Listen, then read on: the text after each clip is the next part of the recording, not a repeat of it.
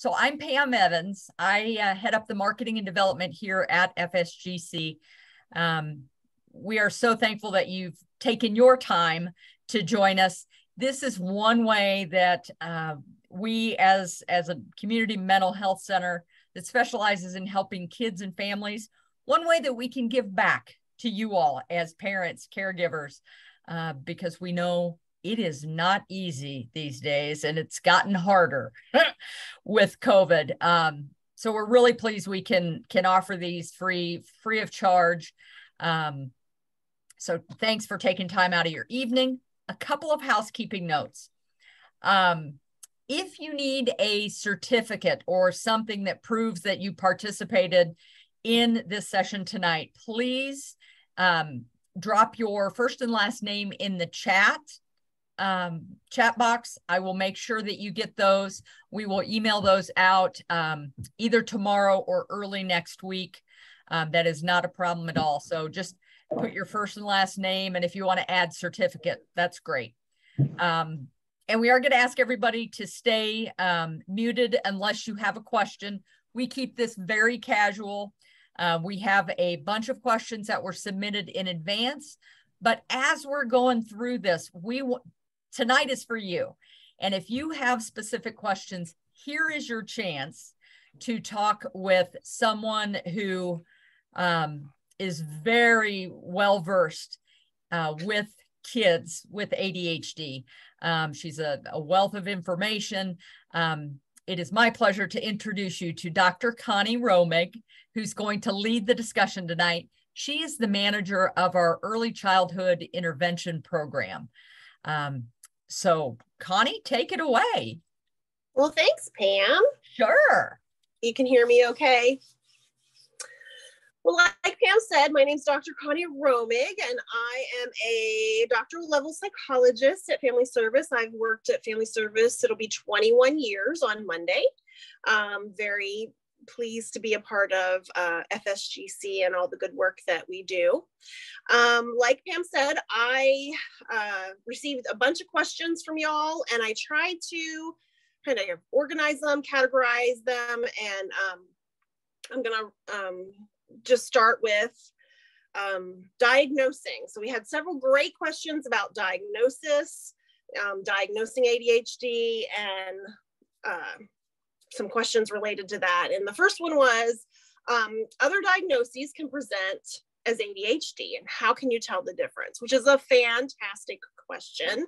Um, that's why I went to school for so long, so I can tell the difference between ADHD, anxiety, and depression.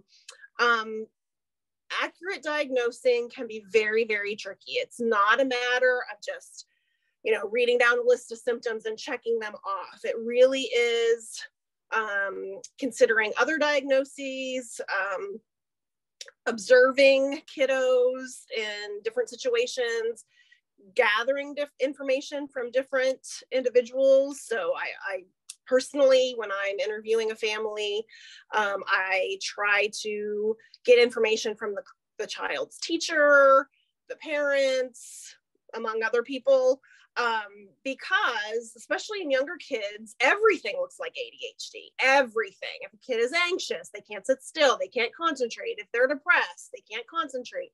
If they have trauma or uh, environmental stressors at home, um, they can look really fidgety and have a hard time concentrating. So, um, exactly, everything, and especially really little kids, can look like ADHD. Um, some medical conditions can even uh, resemble symptoms of ADHD. Um, some of these factors, some of these other diagnoses can coexist with ADHD as well. Um, and they may or may not be responsible for some of the symptoms. And so, for example, if a child has learning issues, um, and they're not understanding information, they may present with inattention and fidgeting, fidgeting as a result of their inability to really understand the information. So it's a great question to start with. Like I said, diagnosing is really difficult. Um, it shouldn't, uh, I am, I should say, I'm very, very conservative when it comes to diagnosing, especially in little kids, because little kids are, you know, I specialize in three, four, five year olds. Um, they present all different kinds of ways. So mental health professionals really need to obtain information from multiple sources. They really, it's it's a doing a disservice to ch- your child and to you um, if someone interviews you and says, this is what it is. Um, it really needs to be a working diagnosis. Most of us approach it as a working diagnosis as we get to know, we, we have to call it something, obviously, in order for uh, insurance to cover um, cover the services and so on. Um, so we do the best we can. We, this is what I think it is. And then as we gather information, we try to fine tune diagnoses. Um, what else did I want to say about that? Um, diagnosing children is often a matter of excluding factors. So, for example, example, um, when I am working with a family with a really young child, you know, two or three year old, and they're, the, the family is saying, I don't think he, I think he has ADHD. I think he, um, you know, he doesn't seem to be paying attention. He doesn't seem to be able to focus. I immediately, I send them they have to have a vision screen they have to have a hearing screen let's rule out any kind of medical conditions um, that could be present um, but then we there is no easy answer yes things overlap and um, it's a matter of gathering information from multiple sources that's my answer to that question um, the next one i have is does adhd in children look similar in teens and adults? Another great question. No, elements of ADHD often look very, very different in teens and adults. Uh, for example, adults tend to demonstrate more in inattention symptoms than children do, or well, I shouldn't say that. Um, it presents more as inattention in adults. And then children have more of the activity level, the fidgeting, the having to move, um, so when you're looking at a kiddo with ADHD, you can see it. Adults who have ADHD tend to experience that hyperactivity internally. It's like a feeling of restlessness. It's a, they they don't maybe not as move as much as other as, as kids do, but they um they do have the symptoms. It's just more of an internal thing. So you may not be able to see it. But then some ADHD behaviors remain consistent from childhood into teenage years and through adulthood. For example, disorganization or uh, problems attending to detail. Um, you know, so maybe rushing through homework, uh, trying to organize or initiate, get motivated to start a project. Those kinds of um, symptoms tend to just follow people as they age. Another great question. I was really impressed with the questions, by the way. So, uh, the third question about diagnosing, uh, related to diagnosing, it, it was um, Is ADHD like a form of sensory processing disorder? Um, again, great question. Um, ADHD and sensory processing disorder are very distinctly different. Um, sensory processing disorder is an inability to use information that's that comes in through our senses in an order in order just to function day to day. So um, it's the way the individual um, well processes sensory information. Um, individual it, sensory processing disorder is really an umbrella term. It covers a variety of sensitivities to sensory st- stimulation. So an individual can demonstrate sensitivities to any or all information that comes through the variety of senses, including touch, vision, hearing, um, taste, even body position, um, and smell, your sense of smell. Um, so some people who have sensory processing problems um, may be over responsive to certain sensory stimulation, like they can't stand to have sticky stuff on their bodies or sticky, dirty hands, or they can't tolerate um, certain textures of food. Um, a lot of times when I'm talking to families, it's um, kids can't stand the mushy food. Um, other individuals with sensory difficulties are under responsive to sense to certain um, information. So, for example, kids don't notice that their shoes are on the wrong feet or maybe they can eat really really spicy food and not have a reaction that most of us would. Um, and another and still other individuals engage in sensory seeking behaviors. They're seeking out um, certain experiences you know so for example they have everything in mouth they have a very oral fixation. They really um, get all they like it getting oral stimulation chewing on pencils or chewing their fingernails or their shirt collars or anything really. Um, or they crave like bear hugs. Like it's not i have lots of kiddos who they I come up from the lobby to get them for my, I come up into the lobby to get them for their um, session and they come flying across the lobby and come in for a hug, but they don't just come in for a hug, they come in and smash into me like that. And they really need a lot of that deep pressure. Um, so people who have sensory difficulties or sensory problems or sensory sensitivities, however you like to refer to it, um, have a comp combinations of these. So they might be over responsive to some uh, experiences, under responsive to other uh, experiences, and seek out other sensory in input. Um, sensory processing issues are typically evaluated, diagnosed, and treated by occupational therapists.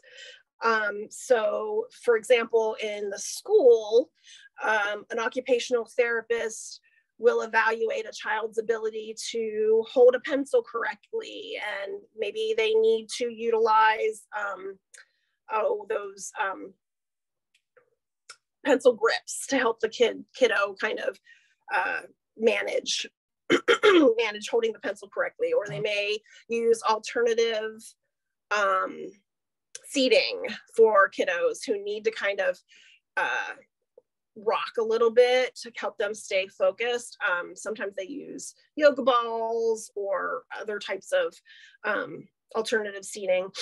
Um, so sensory processing concerns are not considered mental health diagnoses, um, but they certainly overlap with or and exacerbate mental health issues, um, especially ADHD. So many people who have ADHD have overlapping sensory processing concerns. Um, and so I, um, I, I do ask, I, even though I do, do not diagnose sensory processing disorder um, issues, I will ask questions about quirky behaviors um, in kiddos, like, you know, they can't tolerate a tag. So most of us notice novel information like, oh, I got a new shirt and I noticed my tag, but eventually I habituate to it. I just notice it and, oh, yeah, it's there. And then I kind of get used to it and I ignore it. A kid with sensory processing disorder will just keep like, oh my gosh, I can't, you know, they can't focus on it. They won't be able to do anything else until that tag is out of there. Um, so, uh, the treatment for ADHD behaviors and the treatment for sensory processing disorders are very, very different. But like I said, kids who have ADHD can often have uh, sensory processing concerns that um, kind of exacerbate their ADHD symptoms. So great question. Um, the next section of questions um, deals with specific deal with specific symptoms or behaviors and how to manage some of those things. So I'm just trying to keep an eye on the time so I don't go too far over. Um, so one of the questions um, is how do you respond when a child cannot control his or her impulses? And I really am so thankful to the adult who wrote that question because it is really they cannot control their impulses. Excuse me there's something coming up on my phone. Okay. Oh dang it. So sorry. There we go. All right there we go. Um I really refer, I want to refer back to this idea that I mentioned in some of our little snippets the idea of can't behavior versus won't behavior. Often, kids who have ADHD um, symptoms or behaviors, um, adults view them as being bad kids, you know, because they're not doing what they're supposed to be doing. Um, and there's a very distinct difference between a kid who won't do what they're supposed to be doing. That's an oppositional kid or a defiant kid or just a jerk. and kids who with ADHD who can't, they can't control a lot of these behaviors. They can't remember to pack their backpack. They can't remember to take their homework home. They can't remember to turn their homework in. So can't versus won't is a very big distinction. Um, and it's really not okay to punish a child for behaviors that he, he or she cannot control. Um, however, adults can work to modify those impulsive behaviors by practicing and rewarding the desired behaviors that we want to see from kiddos. So, for example, um, you know, most kids, or let's, let's just say the neurotypical kid, typically developing kiddo, you know, you teach them a couple of times to when we approach the street, you hold a grown up's hand. We look both ways before we cross the street, make sure there's no cars coming, and then we cross the street. With um, with a, a child who is impulsive, has ADHD, you you still do the teaching. You're just going to have to do it. You over teach. You have to t- teach several times. You have to do. You have to break it down into very very little steps. You have to prompt them at each each step of the way, and then you reward them when they do um, each of the steps. So, for example, um, example another example. This is very, very common. Let's say we have a five-year-old named Joey, and he really, really struggles with keeping his hands to himself when the class lines up to go out for recess. You know, he's been he's been trying to hold it together in the classroom, trying to maintain focus, and he's just jumping out of his skin. It's time to go outside and he cannot control control his mo his, his hands and his movement so the first step is identify the situation where the impulsive behavior is occurring most often. So for Joey, it's when he lines up, when the classroom, or I'm sorry, when the kids in the class line up for recess. Um, the second step is to talk to the child about the situation and not in a punishing kind of way. It's just like, wow, Joey, you know, it feels like you're really having a hard time when you have to stand in line. So we are going, you're, you're getting into trouble often every time you, you know, we, when we get in line, you can't, you're having a hard time keeping your hands to yourself and um, trying to touch, you know, touching your friends or pushing or whatever. Um, the third step is you overteach the desired behavior, which is keeping his hands to himself. And so, does that mean every time he gets in line, do we put our hands in our pockets? Does he need this?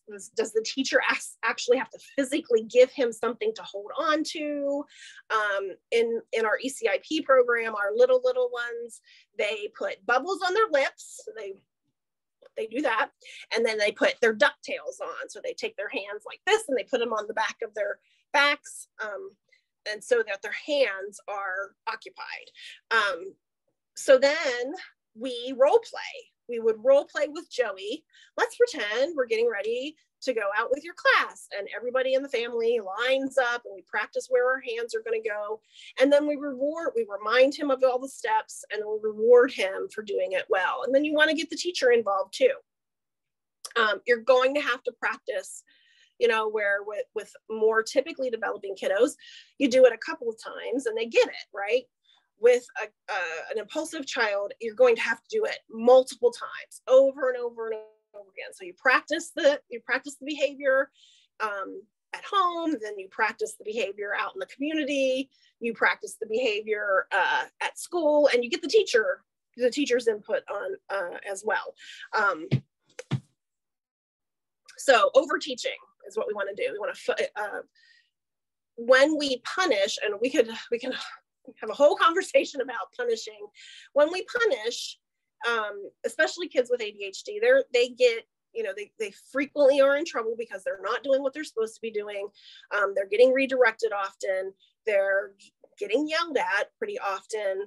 Um, and if that is the message that they're hearing you're not doing it right. You're not doing it right. Stop doing that. Do it do it this way. Don't do it that way. Do it then that becomes the voice and the voice their self-talk in their head. And it's just i'm not doing it right. I'm no good. I never do anything right. I can't seem to please anybody. And so we want to focus on the positive. We want to help them be successful. So we're setting our kids up for success rather than trying to punish the undesired behavior out of them. It just doesn't quite quite work. Pun- uh, well we can get into that another time the next question is what is the best tool to maintain patience with an ADHD individual? Another fantastic question. It's also really, really tough. Um, I I grew up with ADHD. I have three brothers who have ADHD, unmedicated ADHD.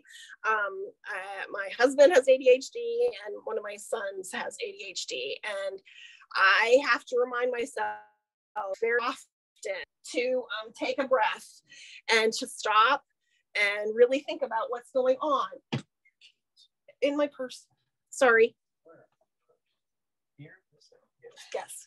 Um, so, uh, sorry, that was my ADHD husband. Um, so, and it's really important for caregivers to keep in mind that much of the time, those ADHD behaviors um, are can't behaviors, not won't behaviors. Um, I also, like I said, can uh, encourage people to think about setting their loved one up for success by being supportive, um, by by breaking things down into uh, simple steps, by reinforcing um, positive behaviors that you're looking for rather than um, nagging. So, for example, your 10 year old kiddo is getting ready for school, tends to get distracted, ends up playing, or gets lost along the way when they're, you know, oh, I'm supposed to be eating breakfast or I'm supposed to go brush my teeth. Um, I really encourage my families with kiddos like this to um, create a checklist of all the tasks that the kiddo is supposed to do that in the morning um, and that checklist lives somewhere. It, it has to stay in one place. These kids, lo- you know, we lose things all the time. So it either lives on the fridge or it lives on the back of the bedroom door. And then the kiddo goes to it. This is what I have to do. They go do that thing. They come back. They, you know, put on your sh- socks, put on your shoes, eat your breakfast, and they can check it off. I'm, I actually laminate ours so that they can wipe, we can use dry erase markers. Um, and instead of saying, go get dressed or get your shoes on, I try to say, okay, Joey, what's next? And that prompts them to go look at their checklist. And then they can feel more successful. And then that's the voice they start hearing is, what's next? Oh, yeah, I have to do this now. Okay, I have to make my lunch now. Or, oh, I have to feed the dog now, whatever is on the checklist. Um, okay, so maintaining patience by focusing on those can't behaviors versus won't behaviors and um, how do you set them up for success? Um, this is similar along the same lines. Provide some day-to-day tools to help coach and develop good time management skills for a child with adhd another great um, request. I love checklists. I think um, checklists are very useful for kiddos um, struggling with ADHD, but it has to have realistic um, times for their tasks. So, for example, um, it's not just you come home from school, you sit down and you do your homework. It's come home from school, put your shoes away, unpack your lunchbox, right? You got to do all those steps. Sit, get out your homework, and I mean, they need to borrow ADHD is a um, neurodevelopmental disorder. Part of the brain just isn't as developed as more typically developing kids. And so um, kids need to borrow our prefrontal cortex. They need to borrow the prefrontal cortex of the adults around them to help them manage these skills. And they're called executive functioning skills planning ahead, organization, um, that sort of thing. And so they're really go your kiddos really need to borrow your prefrontal cortex to help them with these things. It's not like um, there's a magic wand that's just going to fix it for them. And so I also encourage, so I really like the idea of using checklists with realistic um, time. So, you know, oh, you have spelling homework, you're going to work on that for 20 minutes. And then when that 20 minutes is over, you're going to take a break, come on out. We're going to, I don't know, eat dinner, whatever. Um, then you're going to come back and we're going to work on something else. I also encourage parents, adults to use desired activities like watching TV, playing on the tablet. I use those as rewards for completing um, undesired activities, you know, or less desirable activities like homework or household chores or whatever. So once your spelling words are done, then you can play on the tablet for 15 minutes. Um, like I said, written checklists or even picture schedules. Um, a lot of a lot of kids really need that visual prompt, not just words. Um, words help, but they also need like a picture to remind them that this is what I'm supposed to do. These are the tasks I'm supposed to do. But like I said, an adult still needs to monitor and help manage those behaviors for kids because they just don't have their brains are not fully um, developed to manage their own time well. Um, the next question is how can I successfully discipline my child when he's doing something wrong? um, so I'm assuming, well, this actually applies to any kid, not just kids with ADHD. Discipline really, the word discipline really means to teach, not to punish. It means to teach. And so when um, when your child is doing something that you don't want them to do, him or her to do, we really want to take that opportunity to redirect them and correct them and teach them what you do want them to do. So, and that's part of why punishment doesn't work if it doesn't work consistently. So, let's say your kiddo is um, marking on the wall with crayons. You walk into the room and you just scream at them you just yell at them, stop marking on the wall. Um, you haven't taught them what they need to do, what they should be doing, right? So, yes, we correct them. Hey, crayons are not for marking on the wall, or your wall isn't for marking on, your wall isn't for putting you know, drawing on. You can draw on this this notebook, I got you this notebook, this special blue notebook is just for your colors. You can draw in the special notebook. So you're teaching them what you want them to do. Um, people tend to do more of whatever other people pay attention to. So that's why class clowns continue to act up and be disruptive as long as other people are paying attention to them, laughing at their jokes, um, they're going to keep acting like that, right? They're going to keep acting up. So uh, many therapists work with families to ignore annoying or harmless behaviors of children instead and instead provide labeled praise. Labeled praise means you don't just say good job, you say, I really like how you did XYZ. Um, that's labeled praise. Um, we want to provide label praise for the behaviors that the adult really, really likes or wants to see more of. Um, so uh, this actually happened the other night in a session. Um, I was working with a, a mom and a, a young guy, and the young guy started to get really silly. He's he's got ADHD behaviors, and he starts sliding his chair and kind of flopping around in his chair. And I said, as an aside, I'm like, Mom, we're just to ignore this behavior and we're to continue to play. And once he starts playing with us, then we're going to focus on the fact that he's playing with us. And sure enough, he did he did the sliding the chair back and kind of flopping around in his chair two or three times. And as soon as he started playing and engaging with mom with the toys, we were like, I really like how you're playing so nice with mom. It's great.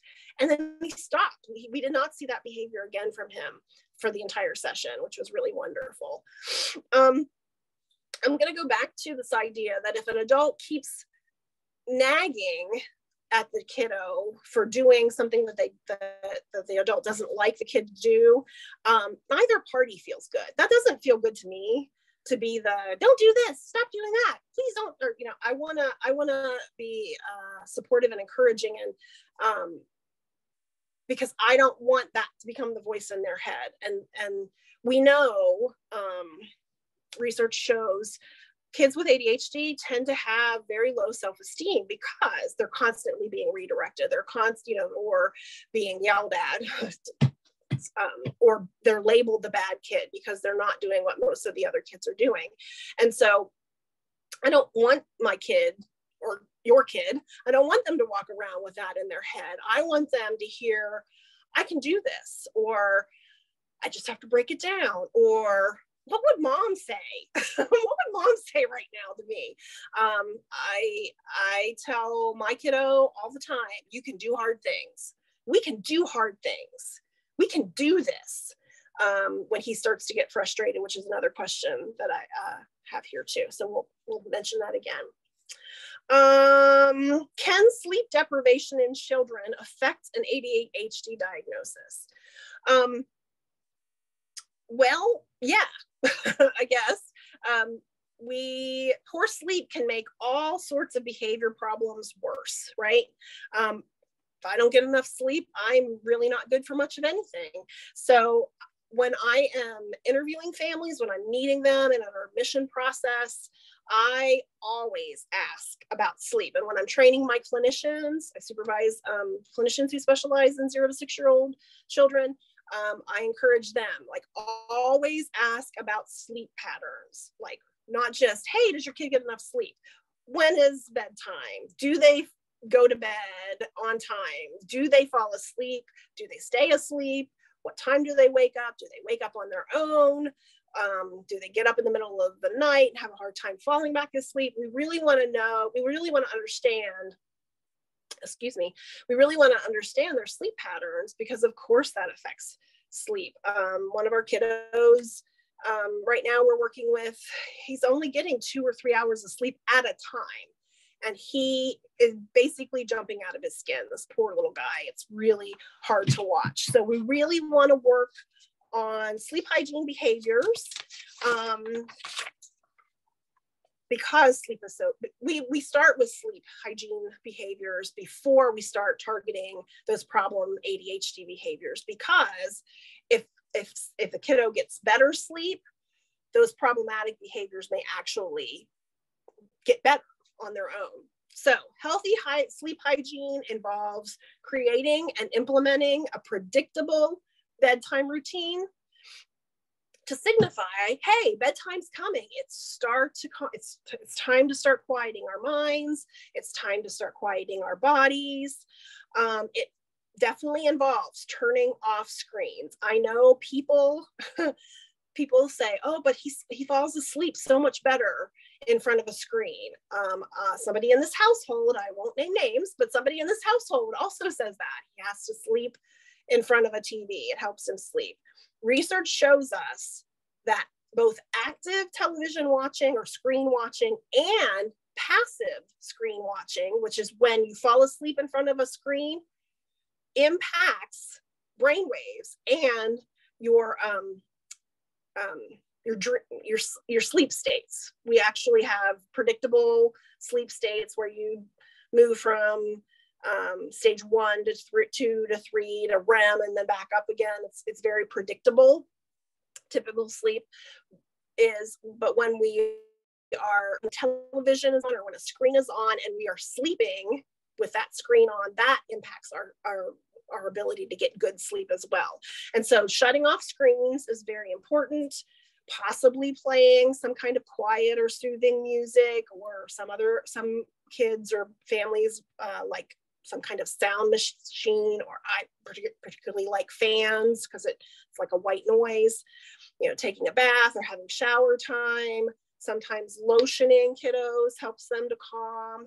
reading or some other quiet activities to help um, to help kind of quiet down and kind of get in that you know snuggling in kind of um, that helps the body and the mind to prepare for sleep and kiddos can't do it on their own they're, they just aren't. If you have a baby you know you have to help them fall asleep.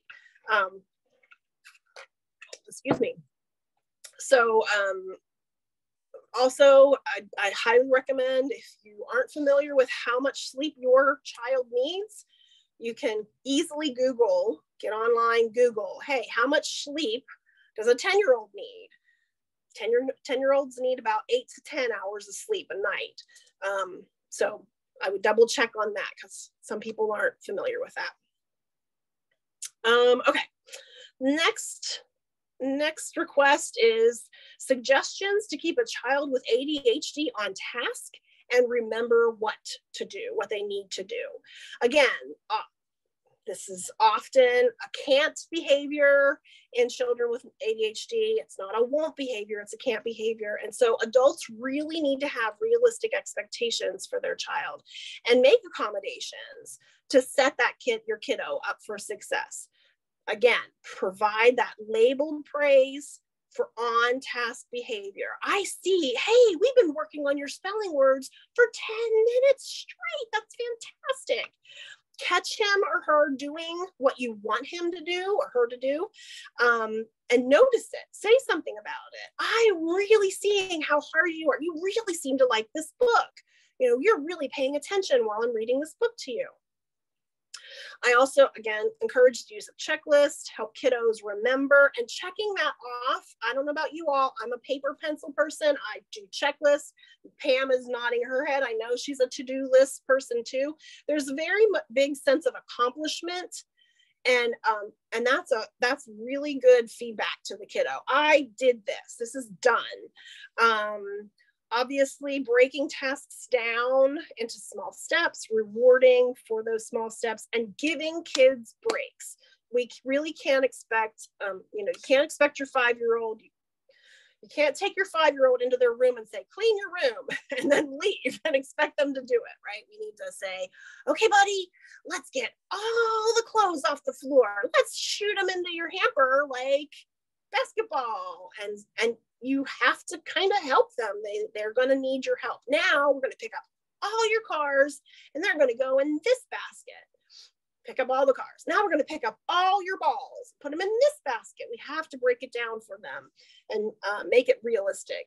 Um, and we can't expect them to stay on task without some prompts and some encouragement.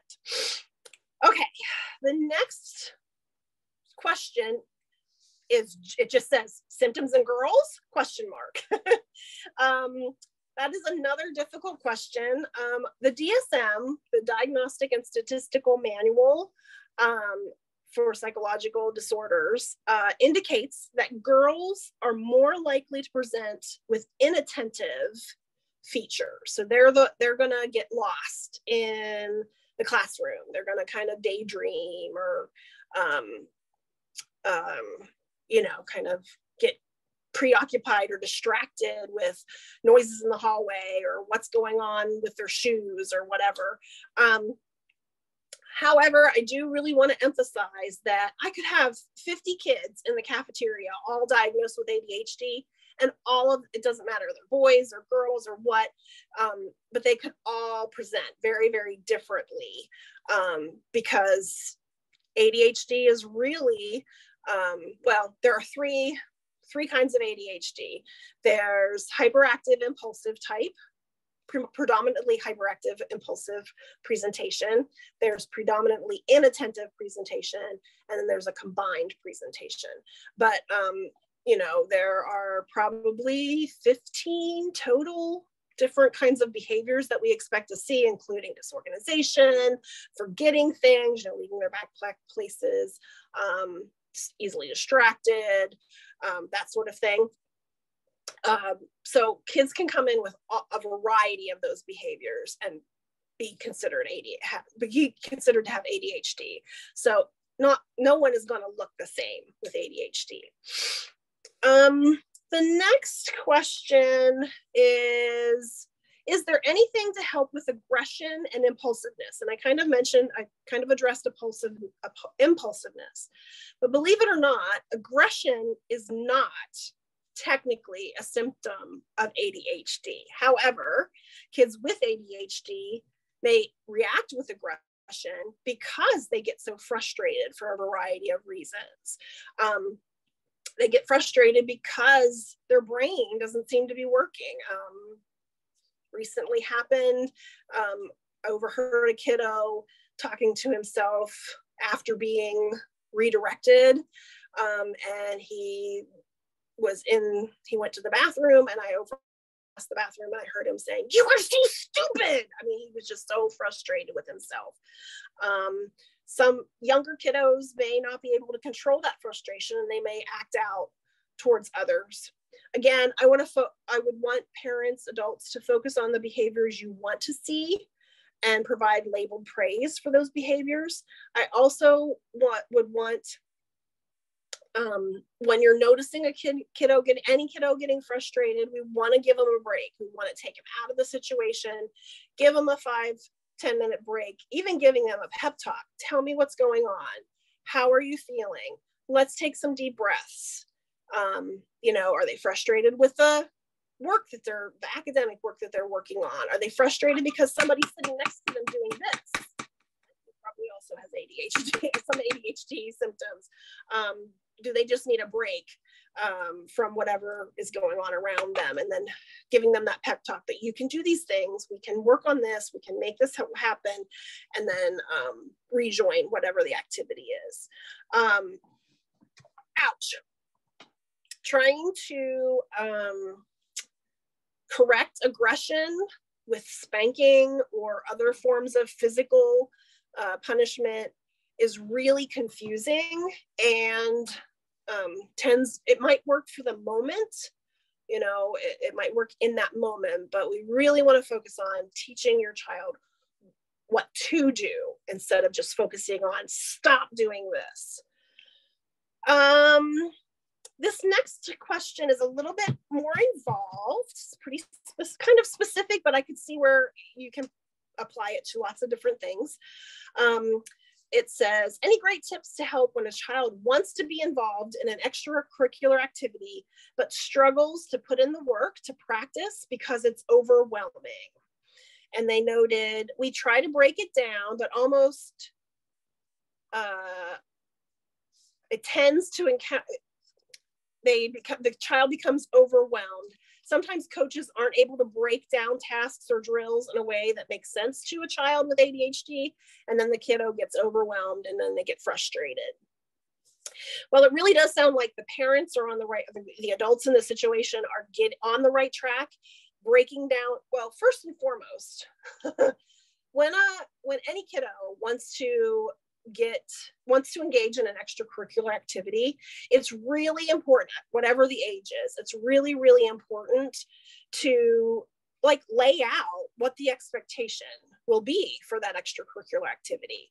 Um, you know if they want to play a violin for example or the piano you know yeah you get to it looks really great to get up there and play the piano, but you really have to practice every day, at least this long. And you have piano lessons every week. Um, and, um, you know, you're going to have at the end of the year, you have to get up and play in a recital or whatever, whatever the expectations are, because you really want to, kids get just really excited about oh, I'm going to get to play an instrument, or I get to run around the soccer field and kick the ball really hard.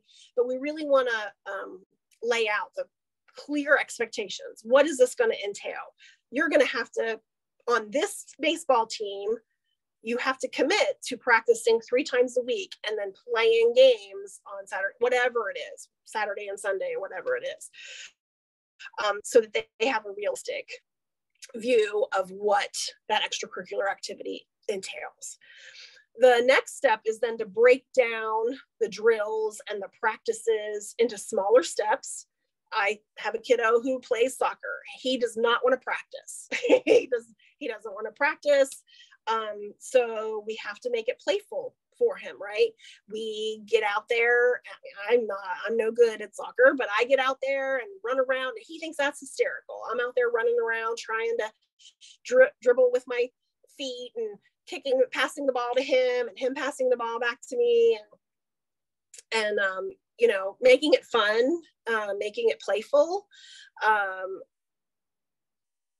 I also like the idea of taking a one down approach and having your child teach you what they're learning, whether it's, um, you know, a piano skit scale or, um, you know, um, a dance step or a dance part of a dance um, part of a dance if they're in dance or whatever gymnastics they're learning that week like te- have them teach you. That's a great way a great way to reinforce what they're learning by by teaching someone else um, it's also great to talk with your child's coach or teacher or piano instructor or whoever about your child's um, challenges um, so that coaches, teachers also have realistic expectations of your child. Um, and also adjust your own expectations, right? Um, I can't, well, I'm not to, I can't say enough about uh, martial arts for young children um, of all age, of all developing abilities.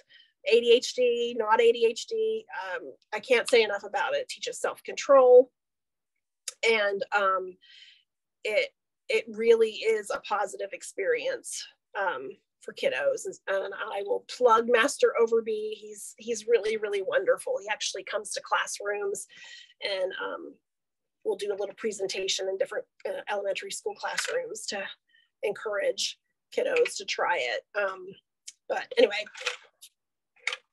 uh, my ADHD is kicking in and I'm being tangential. Oh gosh, we don't have much more time. Um, uh, the next question I kind of addressed how do I help my 12 year old navigate feeling frustrated with themselves?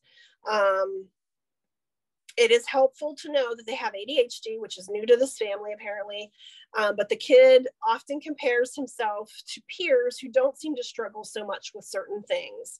Um, the kiddo is getting so frustrated with being reminded to stay on task for school, schoolwork, and then they really uh, can become self-critical. Yeah, um, I already mentioned children with ADHD often have significantly lower self esteem than children without ADHD. And why?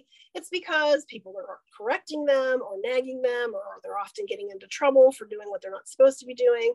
So it's really, really important to notice their effort, notice how hard they're working, and um, focus on again label praise. I'm really, I really love how how much you are interested in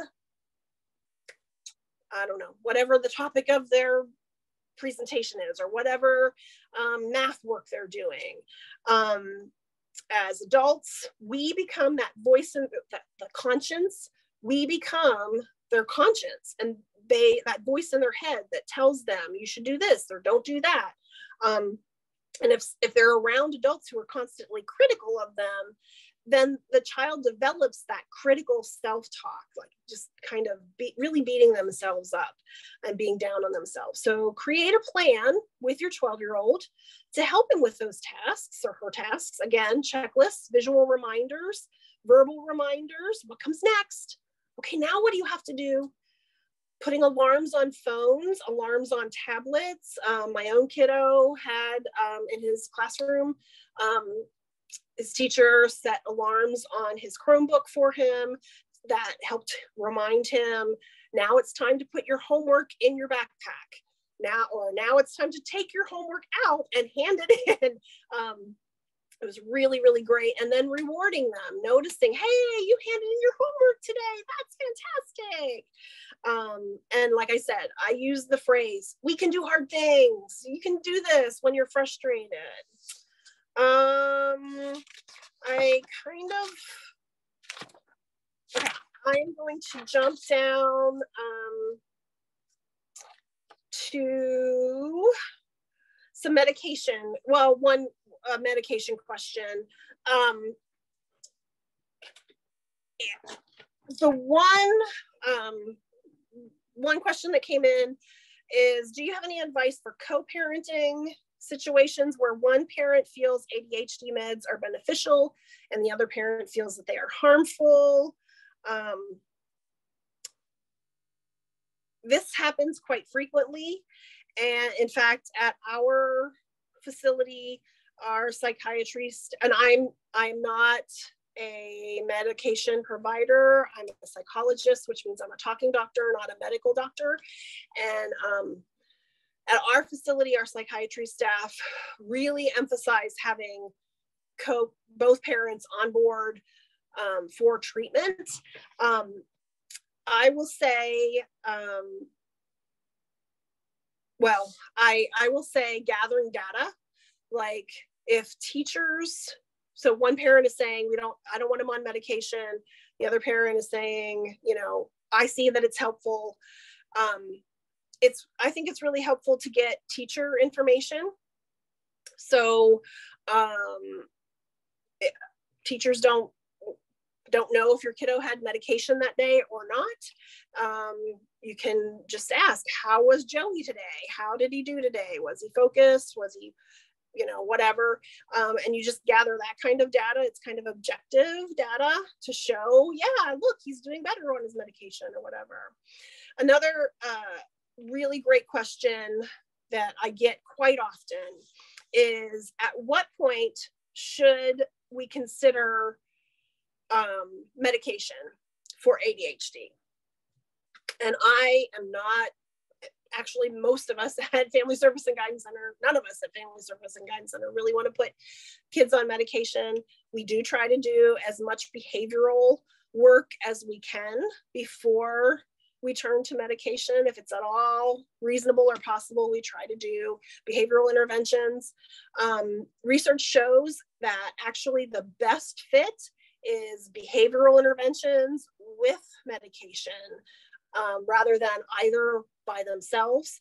Um, but we do try to do behavioral interventions first, just to see. Maybe some kids do respond really well to just the behavioral intervention. Um, but when do we decide, or when should an adult parent, a co-caregiver decide, hey, um, maybe medication is what's warranted for our kiddo? Well, first, um, again, gathering data. How is this kiddo particularly doing in school? I, is this, is I'm sorry, are these behaviors and symptoms interfering with my child's ability to learn um, or to perform at where I think he's capable of performing academically? I think that personally uh, and professionally, I I think that is a, uh, the standard to go by. Like if if I feel like he's really impacting his ability to demonstrate knowledge and skills uh, at in in school, particularly, that would be where I would consider medication. The other, there's plenty of options. Um, you can uh, certainly talk to a, just because you talk to a psychiatric um, provider does not mean you have to put your kid on medication. You can go and get information about what is out there, um, do these behaviors seem to warrant medication? Um, is there medication that would address these kinds of behaviors?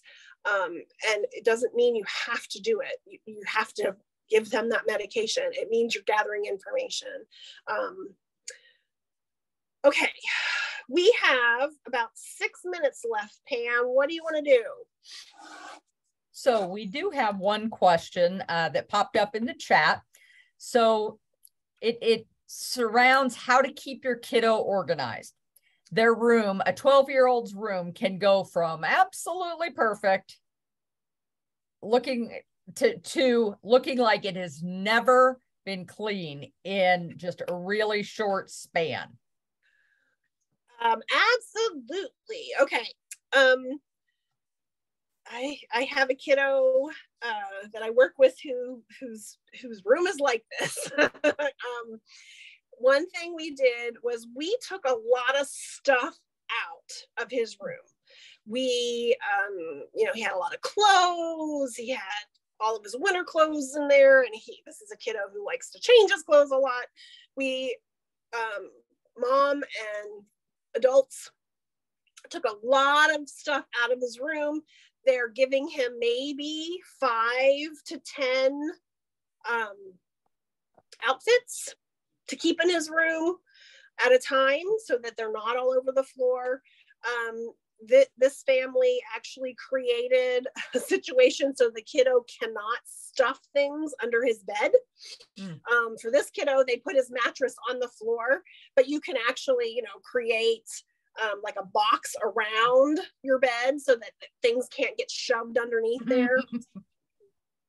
um, another again we have to consider our expectations right? You um what what is the expectation? It's my expectation on perfection. I want all the red legos in one bin and all the orange legos in another bin. That's not going to happen. Um but you know clearly stating what the expectations are. So um clothes go in the hamper not on the floor. You know we can we can write out these rules and and as your child is cleaning up he can check them off. Again that sense of accomplishment. You know i also really for some families that is not a battle to fight and you can shut the door and don't look at it. That's another option. Is just not to not to worry about it. Just keep if that's that's the way he wants to live that's the way you can shut the door and not think about it. But um, i also just encourage families um, instead of trying to have everything nicely organized, maybe having one big box for all the toys, one big hamper for all the dirty clothes. Um, if your kiddo really struggles to keep things on hangers in the closet, it, stuffing them in the you know in the dresser is better than don't don't hang them up. Put them in the dresser. What really fine tune it to your child's um, strengths um, and you know, the other thing I have worked with families on uh, is, you know, he really hates to clean his room, but he really, really likes to wash the car. You know what? Send him out to wash the car. You clean his room. I mean, we really, you know, focus on instead of fighting with him for four hours to clean his room, send him out, have him wash the car, and you pick up his room or you help him with cleaning up his room. You know, he really does need that prefrontal cortex of yours to help him stay organized and, and picked up. So there's just lots of ways you can approach the situation. Very good. Very good. Anybody else have any questions um, that have have maybe popped into your mind as as Dr. Romig's been talking or or that you'd like to ask. If you would like to, go ahead and unmute and go, go ahead and ask real quickly.